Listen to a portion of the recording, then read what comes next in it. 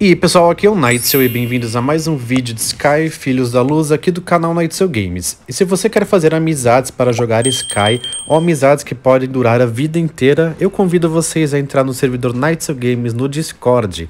O link convite está na descrição do vídeo. Bom pessoal, hoje foi liberada então a quarta missão da temporada do Despedaçar, então bora completar ela aqui com vocês. Para isso, a gente precisa clicar no quarto ponto de exclamação aqui com o vazio despedaçado, que irá aparecer a seguinte mensagem. Recupere mais uma parte de lembrança dos fragmentos que caíram no reino de Sky. Os fragmentos de escuridão da erupção do Olho do Éden de hoje caíram no reino do Vale do Triunfo, mais precisamente na Aldeia dos Sonhos, que tem essa barreira espiritual aqui que a gente já precisa ter recuperado a memória espiritual de um espírito do Sertão Dourado para a gente estar atravessando. Lembrando, pessoal, conforme eu já expliquei para vocês em diversos vídeos aqui sobre a temporada do Despedaçar no canal Nature Games, para a gente completar essas missões da temporada, a gente precisa purificar uma escuridão de erupção forte, né, das erupções lá do Olho do Éden que chegaram com a temporada. Isso significa que precisa ser esses fragmentos de cristais vermelhos bem fortes e intensos que tem duas etapas para purificar a escuridão a segunda etapa consiste em a gente coletar os fragmentos de luz, em seguida ganhamos velas acendidas ou velas do Éden.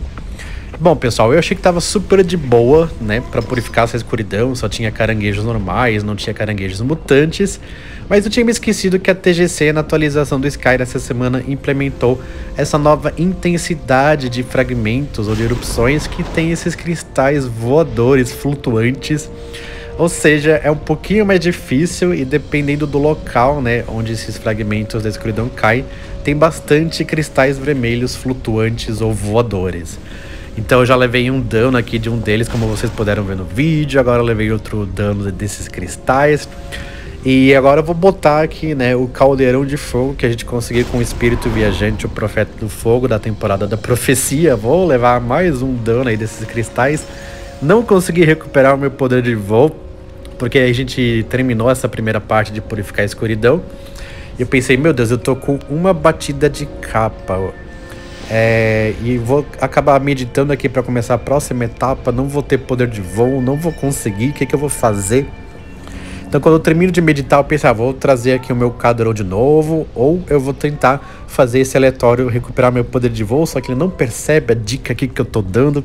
Então, coloco o caldeirão de fogo, quando eu coloco o caldeirão de fogo, ele começa a recuperar meu poder de voo. Aí eu vejo que o tempo para coletar os fragmentos de luz das arraias já está quase acabando. Eu pensei, meu Deus, não vai conseguir terminar.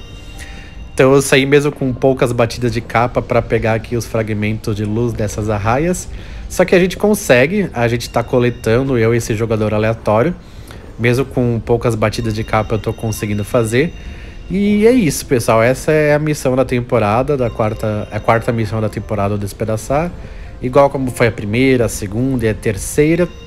E eu confesso que assim, eu não me importo com essa repetitividade das missões, porque as missões de temporada geralmente são repetitivas, mas temos cenas entre as missões contando a história da temporada e a inovação dessa temporada, além das iluminações diferenciadas, das ambientações diferenciadas em todos os reinos de Sky, em todas as áreas, antes das erupções do Olho do Éden, e além disso, das próprias erupções do Olho do Éden a cada duas horas, nas horas ímpares, com essa nova atividade para a gente estar tá fazendo para farmar velas acendidas ou velas é, do Éden e também velas normais, é, eles trouxeram essas memórias antigas, mas que infelizmente é, a TGC ainda não sabe como vai fazer para a gente revisitar as memórias antigas da primeira missão da temporada, da segunda missão da temporada e da terceira missão da temporada, para a gente coletar essas luzes aladas que tem em cada uma dessas memórias antigas. Então a TGC ainda não sabe como fazer, ela já diz que pretende sim fazer isso no futuro, mas não sabe quando e como,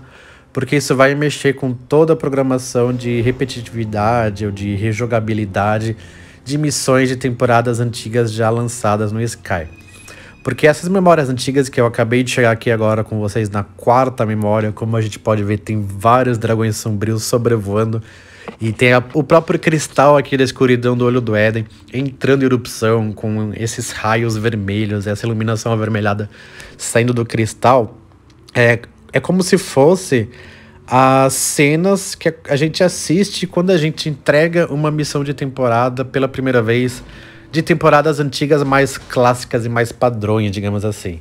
É, em temporadas passadas, sempre que a gente entregava alguma missão, a gente assistia uma cena e essas cenas a gente não consegue estar tá reassistindo, né? A gente consegue apenas quando a gente clica nas exclamações é, dos espíritos guias que estão por aí no Sand Sky, a gente consegue ver as cenas de quando a gente pega a missão, não a cena de quando a gente entrega a missão. E essas memórias antigas que a gente está vendo a cada missão da temporada do Despedaçar é, são consideradas pela programação que elas foram desenvolvidas como se fossem é, as cenas que a gente assiste quando a gente entrega uma missão.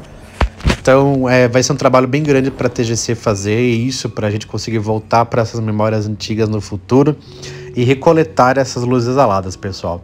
É, eu já peguei aqui nesse vídeo que eu estou mostrando para vocês essa memória antiga.